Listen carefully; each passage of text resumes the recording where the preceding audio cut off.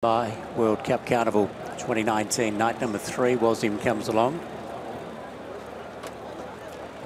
So we're just about ready now. Layeth coming up towards the barrier stalls.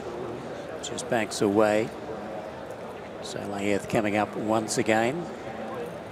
Lightly raced, but uh, pretty impressive so far. Now Pop the Hood coming up. Five-time winner in the USA. And uh, Honourable Treasure. Two-time winner in the USA. So they're all set. Ready to go. Opening race of the night. Gates are back and they're racing. El Manara a fraction slowly out of the stalls and the Swedish galloper I Kirk came away running. Led over El Manara early on. A noble friend just off them from Pop the Hood. Honourable Treasure going up on the outside. Layeth being dug up and holding a spot over on the fence and Tilling Soweto Wasim.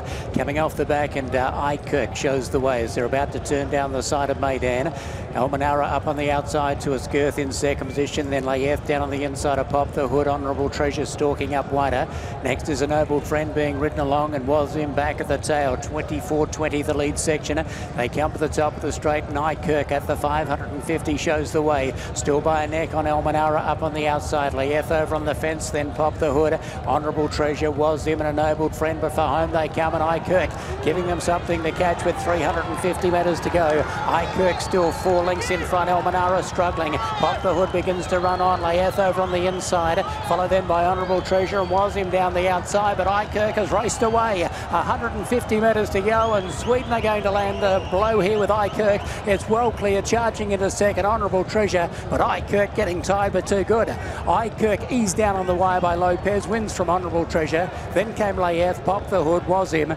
Dropping off was El Manara, and back at the tail, a noble friend. Truly is an international carnival here in Dubai, and I Kirk has been able to run them off their legs for Susanne